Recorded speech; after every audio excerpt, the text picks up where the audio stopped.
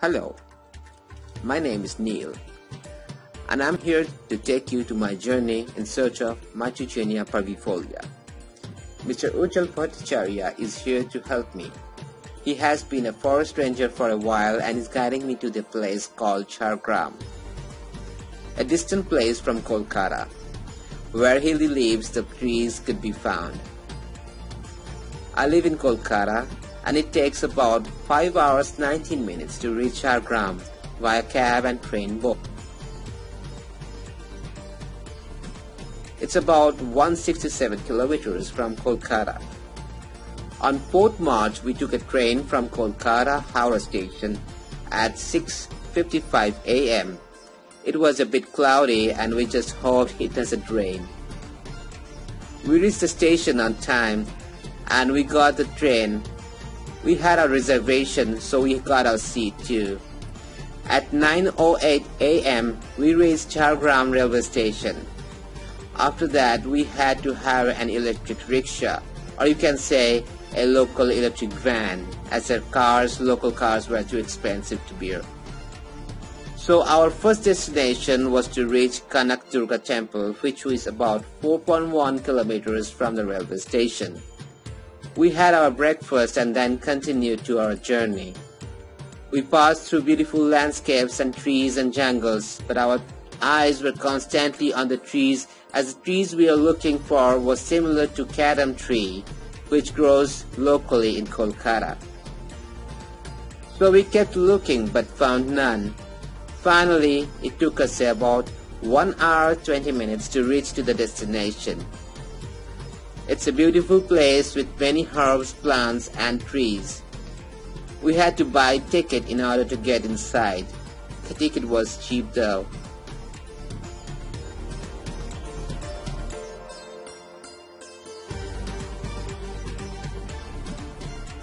This is the main passage where you get inside the temple and as you can see there are lots of trees along the passage. We were surrounded by beautiful trees and herbs. Some of them has names and markings on them as well. We kept looking but couldn't find our tree anywhere and I was kind of disappointed. Finally, after a long, long walk, we found the temple. And there beside the temple we found our tree, my Mitragyna parvifolia along with another tree called Haldina cordifolia, which is a member of the Rubiaceae family. We were very excited and I was a bit relieved too. We requested some officials to get us some leaves from the trees. There were not many as they say it was off season, so we got some leaves and continued our journey to the next destination. It was Amalchati Vesaj Udyan, which is 9.3 kilometers from the temple. And it took us almost 2 hours 21 minutes to reach there. This place is a nursery for herbal plants and the forest ranger suggested this place. We spoke to the manager there and requested him to get us some leaves of parvifolia which he said he had few trees at his place but he can get more if we had requirements. There were several other medicinal plants too. The staffs helped us to get some leaves from the trees. They say during June and July it is the best time to get the leaves as this is a deciduous tree. They helped me get a sack where I got all the leaves including some other species too like Haldina cordifolia and the local kadam, which looks similar to kratom flower. Finally, we had our lunch and headed towards the railway station. At 7.30 p.m., we booked a railway ticket, where we, we had to stand all the way back to Kolkata, as we didn't have a booking for the seat. The train was a bit late and after I reached home, I was very tired. So I spread the leaves on my bed underneath a polythene and made them three sections for different categories of leaves. then decided to work on the next day and get some sleep. Next day was a cleaning day for the leaves. I took four buckets of water and cleaned them multiple times to make them make sure they were super duper clean.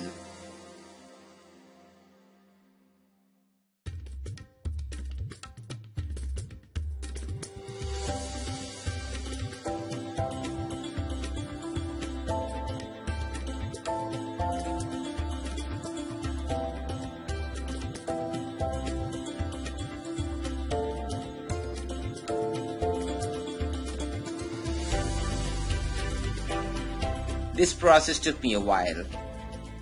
Finally, I laid the clean leaves into different baskets and shelves and let them dry for a while. I created garland of leaves and dried them indoor while saving some space, you see.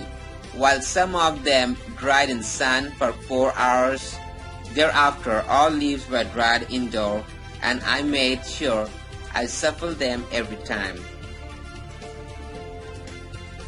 It took almost five days to completely dry the leaves. I removed the veins carefully and crushed the leaves, which again took me a while. Then I took all the crushed leaves in my small tiny grinder and I tried grinding them to dust, which was okay I guess, though not great. Finally the packs are ready to ship. It contains Mitragyna parvifolia, Haldina cordifolia, and local kadam species. Hope you enjoyed my video.